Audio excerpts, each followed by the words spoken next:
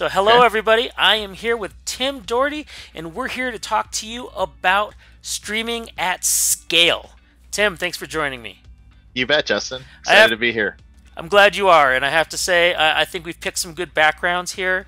Everyone, we're still in a pandemic. We still have to do these things on Zoom, and so I am sorry uh, if I don't have a green screen behind me this time, and the pieces of my ear are slowly disappearing depending on how I turn. But uh, you know, that's that's our life. It'll today, get better. right? It'll, it'll get better as everything gets better. I am actually standing in front of what was a real display at a trade show. I think this is IBC in Amsterdam about coming up on two years ago. So at least it's a picture of something real, Yeah. even though it's not real. Yeah. Although I love the um, ominous Wowza logo you- in that very like- avant-garde yeah, that- office. And the Yeah. fake building. Uh, I, Is I- it fake? Oh yeah, those are Oh, those are totally like in the future. Those that are looks like drawn the- buildings. No, I feel like I am in um an underground bunker from uh, Resident Evil. You know, Oh, where everyone has to work underground, locked up, while they work on the virus to turn everybody into zombies. That's that's where I am, man. Um, it's it's a sad place I live in. But hey, so let's talk about uh, live streaming because that's what we're here for. Sure. Now, uh, specifically, what I'd like to talk about first is why it's important to uh, to to work to have a option to stream at scale. And I guess what I mean by this is, normally speaking, when people buy our product, uh, Wowza Streaming Engine, um, it's it's a system that uh, they might house either on premises or in the cloud. But at the end of the day, uh, the bottleneck is its bandwidth. And the reason that that's more important with something like live video streaming versus, let's say, uh, a a five megabyte file, a PDF file that somebody wants to download, is that uh, in there can be situations where you're live streaming something that may go on for a couple hours, and you're getting 200,000 viewers all over the world.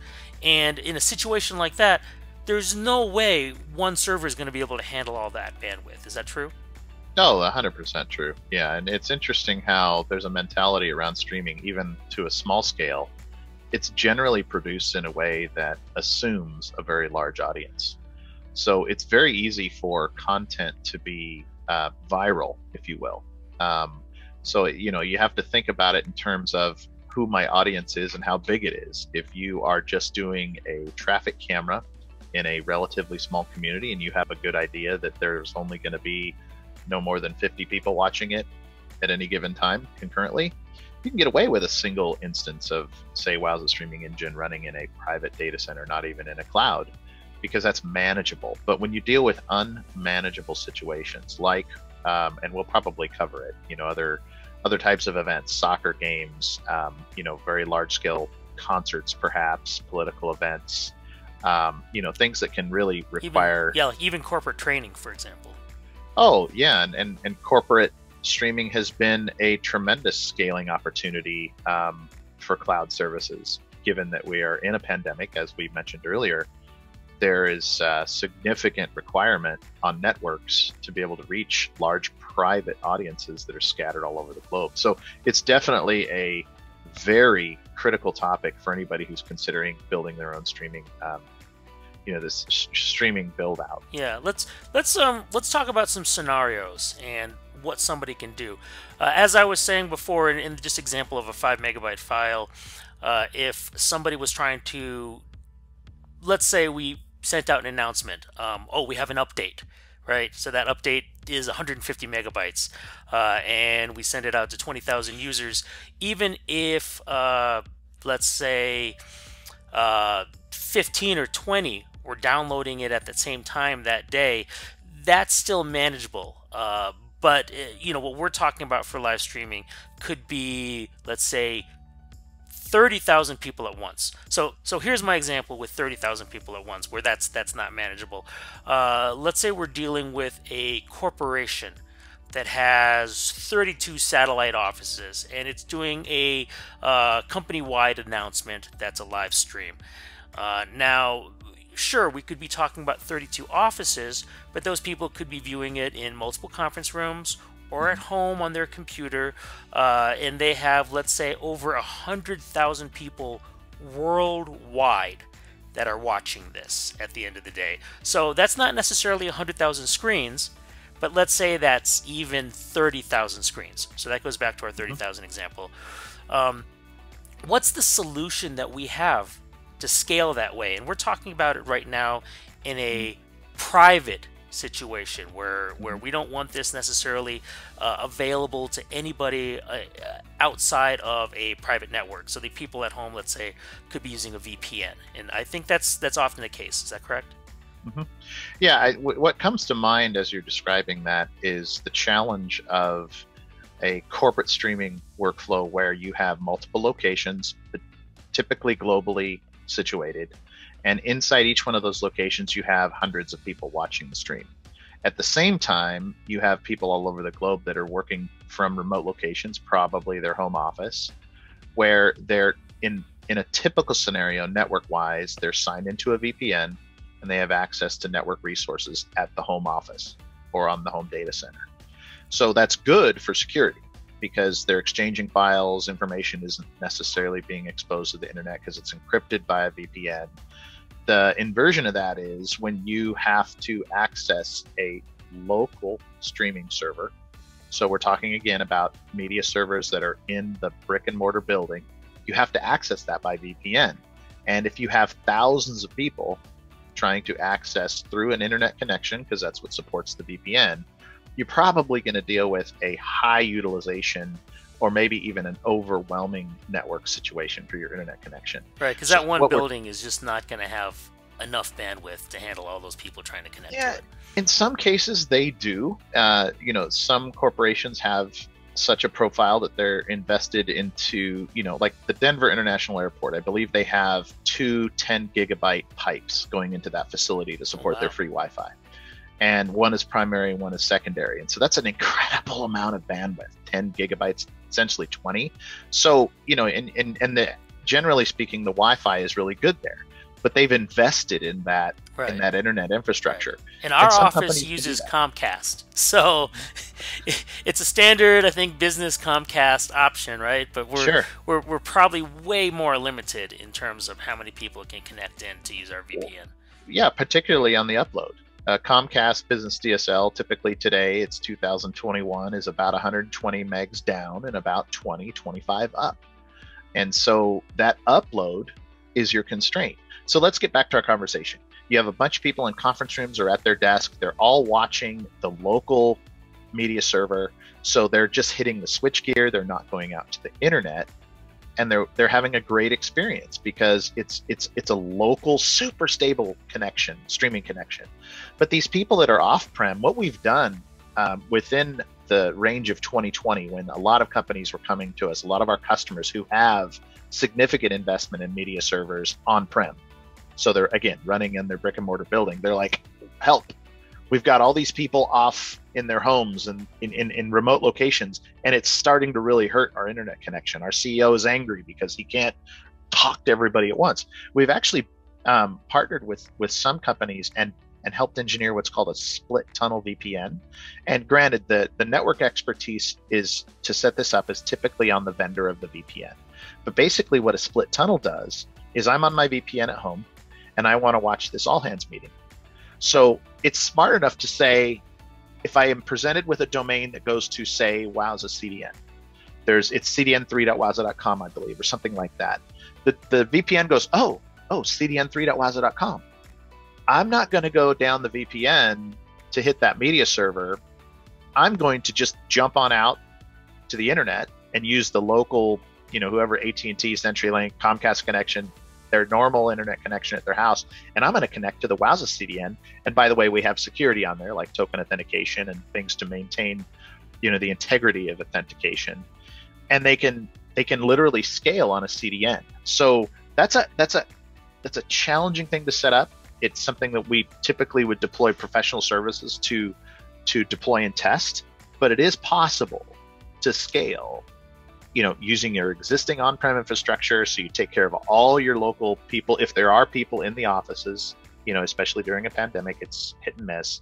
But we can we can definitely scale using a content delivery network. And I don't know if we got into what a CDN does or if we need to. And and forgive me going short story long on this, but um, that's generally how you approach it. No, no, no. Uh, um, I mean, if you want to talk about CDNs, I think most people understand these days uh, that in order to deliver content, um, having a network out there that's already designed to mm-hmm. deliver that content, to cache that content locally, uh, so people can access it faster. Um, a CDN is great for that. Oh, and CDN is fantastic. Yeah, yeah and, I, and, I, am Go ahead. Oh, I was about to say, well, we have our own Wowza CDN, which is uh, using, I think at this point, um, Fastly. Is that correct? That's correct. Wowza uses both Fastly, and that's our primary CDN, but we also have had a relationship with Akamai for, for several years.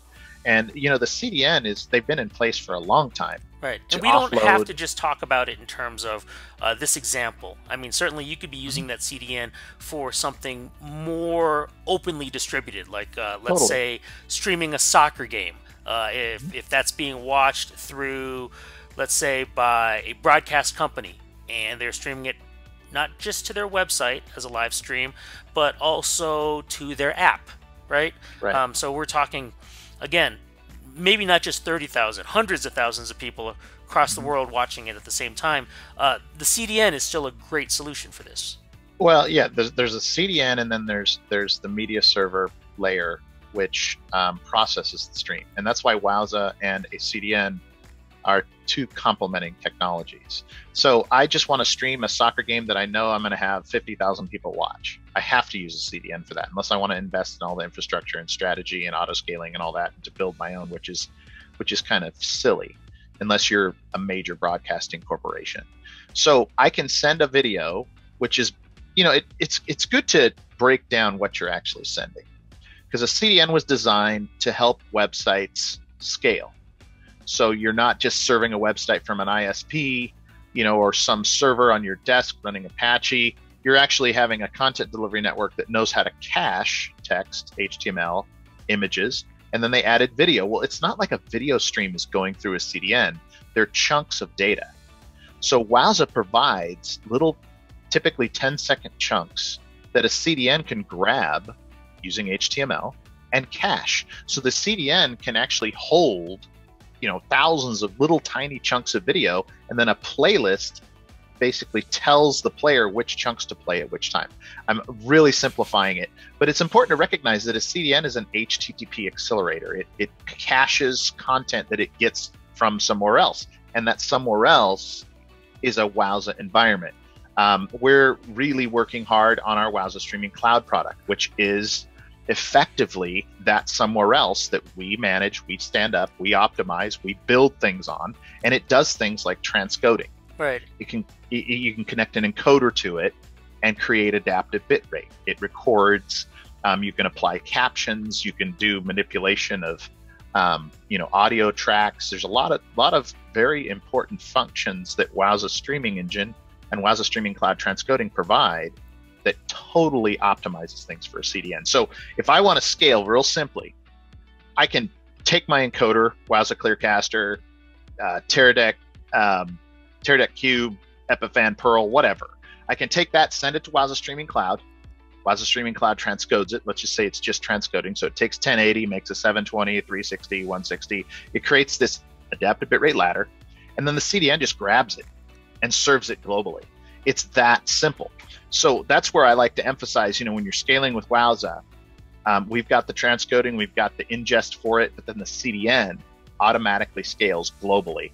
And that's, I hate to use the word magic, but that's where the magic happens with regard to scaling. So I'm, I'm sorry, I, I if we could just take a step back. One, one sure. part I'm confused there. We, we sort of mo- moved over from talking about Wowza CDN, which which mm-hmm. uh, honestly I'm I'm excited about some of the things that are happening mm-hmm. with us right now, um, connecting with Fastly since more analytics options are soon going to be possible with all of that, and that's the one nice thing about you know connecting with a, a specific company, being able to work together and, and do something. Oh yeah. But um, you kind of moved over and talked about it in relation to Wowza Streaming Cloud. Now, now certainly you have options of connecting Wowza Streaming Engine uh, to Wowza CDN. and then there's Wowza Streaming Cloud that already has a CDN built in with it. So are you talking about um, just using Wowza Streaming Cloud, or are you talking about options where somebody might have an on-prem option with Wowza Streaming Engine, and then be connecting it not to not to Wowza CDN, but to Wowza Streaming Cloud? Well, let's draw a line. Um, there's two functions of Wowza Streaming Cloud. There's the transcoding, and then there's the actual content delivery network. The content delivery network is a special implementation of Fastly CDN and even uses Akamai to do all of that global scaling that we talked about. And yes, Fastly has some incredible, um, very fast metrics that you can grab. So there's some great API functions in Fastly. Um, so there's there's the CDN part and the transcoding part. Now the transcoder, if you will, um, by default is is is available in Wowza Streaming Cloud. When you first log in, you see, you know, several um, wizards, if you will, that help you connect your encoder. That's that's setting up your your your transcoder, which is a managed service that cloud provides. Now this is the this is the delineation. You can use that transcoder function which is managed with Wowza CDN, which is Fastly. So you've got the turnkey option, or you can not use the Wowza transcoder, not take advantage of our managed service capability and you not having to worry about licensing and all that. And you can use Wowza Streaming Engine on-prem that is a origin to the CDN. So when we're getting back to that brick and mortar enterprise big evil corporation com um, streaming workflow, you can actually continue to use your on-prem server, your media server on-prem, as an origin to Wowza CDN. So you don't have to duplicate your work. You're probably already transcoding in your own data center if you're a corporation. You've already got all that infrastructure set up. You've got Wirecast, you've got Clearcast, you've got encoders that are already set to an IP address, and everything just works great. But what we're doing is bolting on the CDN as as an extension of your on-prem workflow. So your server or servers on-prem are still transcoding. They're still recording. They're still doing all that they've always done. But the, the CDN knows where it is because you set it up and users can access through the CDN as well. Okay. I hope that helps um, describe it a little bit better. But I am championing the Wowza Streaming Cloud product for obvious reasons. Um, but it does make it much, much easier if you don't want to get into server management. If you just want to be able to do what you do, produce a program and stream it out to the world. It's a great solution. no, no, absolutely. Absolutely. One, one thing I would like to talk about we have been talking about scaling in terms of a content delivery network for quite a bit here. And I absolutely agree. Like, it, it, this is uh, in modern times, the easiest way to go is to use a uh, content delivery network that's out there. And um, one that's already well integrated with systems that you're using makes the most sense to use because in the future and even now um, you're able to access uh, functionality that wouldn't normally be available if you just went and picked your own CDN out there. Um, but what I do want to ask about is other options for scaling. We talked about CDNs for scaling. Um, so uh, there are instances where corporations want to um, have everything in house. Uh, maybe they have already um, either on premises on their satellite locations. Uh, they want to create their own virtual private network to do scaling, or perhaps they're creating their own like AWS instances in the cloud uh, for scaling. Um, how does that work with Wowza Streaming Engine? Fantastic question. And part of the driving reason behind that is strategy and security in many respects. You know, the strategy is I want to keep everything under my control. I don't trust CDNs. I don't trust anybody. I am my business is way too secure. So you, you may want to completely manage every aspect of, of your streaming operation. That's where building your own um, or scaling it on your own using our software is, is very advantageous. Uh, the other part of that is is um, when a lot of companies already have a very deep relationship with maybe Azure or Google or Amazon Web Services. So they have a lot of flexibility when it comes to deploying server resources in EC2, for example. So they would prefer to stand up servers in geographic locations and use a load balancer and build that themselves. So, you know, how does it work? Effectively, you use, and I think you and I did a, a video on this recently to describe how to do it, but you use the Wowza Origin Edge repeater, or you set up a push um, workflow where you're using SRT and some other um, protocols for, for video to go from server A to server B or from origin to edge. So basically what you do is you, you, you figure out how many people are going to be watching this content and from where, and you make an estimation. So for example, let's say I need a thousand people in Boston. I'd probably have three servers there as my primary and three servers as my backup, and they'd be load balanced. So anyone who hails from Boston, whether they're in a corporate facility or you have some way of recognizing their location, you send them through the load balancer, and Wowza provides that load balancer free with our software to that group of servers. And they're watching directly. So the, the workflow at a base level is the Wowza Origin Edge repeater. Um, you have an origin server that does the transcoding in most cases. So it's creating your adaptive bitrate ladder. It's got a lot of GPU or CPU resources. It's really busy. And the edge server just sits there in an idle state so that server in Boston is just sitting there waiting for someone to connect. As soon as a client connects, so somebody connects from Chrome or Firefox or their phone, it wakes up that server and it immediately goes to the origin server and grabs the stream or streams that are being requested. And so you you can control bandwidth consumption between servers using an origin edge repeater. And there's some other advantages to using SRT, which is a um, kind of an error resilient protocol, and I don't know if we want to get too far into protocols, but basically, Justin, it's a matter of um, estimating, scaling your own resources globally, and you can right. get into auto scaling, and there's there are there are there's some expertise that we can provide with that, but fundamentally, you scale via network um, based on demand. Right. So so as you were saying, great for private networks, great for people who want to uh, keep things, let's say, well, government, for example, is probably yeah. a great example of that, or security. Um, those are, but also let's say um, healthcare, right? Yeah. I mean, with HIPAA, I'm sure they want to keep it as secure as possible, and they want to consider something like this as opposed to uh, even even I'm I'm assuming through uh, telehealth. Uh, where uh, you are consulting or uh, doing consultations with mm-hmm. patients, right? You'd want to keep a secure, uh, a secure yeah, streaming. It's it's it's not necessarily scaling in the event large scale. You're right. That's a one to one. That's not a but good. There example. is scaling. No, no, no. It is a good example in the sense that you have to think about, you know, if you're doing a lot of one to one connections, how many ones are there going to be?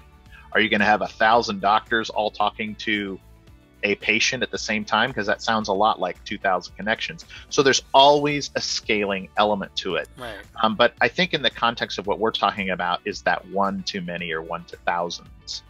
Um, and you're 100% correct. Governments um, high security financial organizations healthcare organizations they really like to um, own their own infrastructure. But at the same time there has been a breaking point with the uh, criticality of having so many people working remote. So using a CDN is practical, but you've got to bolt on the fairly advanced uh, security apparatus. Apparatus isn't necessarily a technical term, but I think it describes it. There's a lot of um, like, in, you know, installing a DRM solution, which we provide in Wowza Streaming Cloud now, um, or uh, you know, perhaps you need to do a token authentication where you're website literally needs to talk to Wowza and make sure that that one player is the only player authorized to play that URL. So those things are, are kind of challenging to set up, but when you have it set up, a high security company can use a CDN confidently. Great. Well, hey, Tim, thank you for talking to me about all of this. I know it's a lot of information out there, and at the end of the day, I think I, I absolutely hear you. You know, a, a, content delivery network is a great solution. It's the easiest solution, um, uh, but certainly having the option to build your own. And that being said, there are many CDNs that actually use us in that whole process oh, yeah. to do exactly what we're talking about in terms of building their own.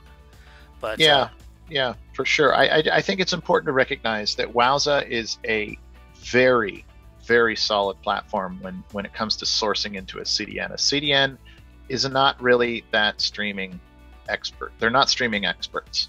They're experts at caching and global distribution. And we come in with the expertise on streaming and security, and we really drive it home. So I think anybody, if you're scaling for a webcam with five users at a time, or if you're scaling for 500,000 people, our expertise in tuning and optimizing video going into a CDN using our software or our services is, is, a, is a very, very strong move when someone's moving towards building their own streaming infrastructure. So that was kind of a salesy way to wrap this no up. No problem. I In think fact, you see where for... I'm going with this.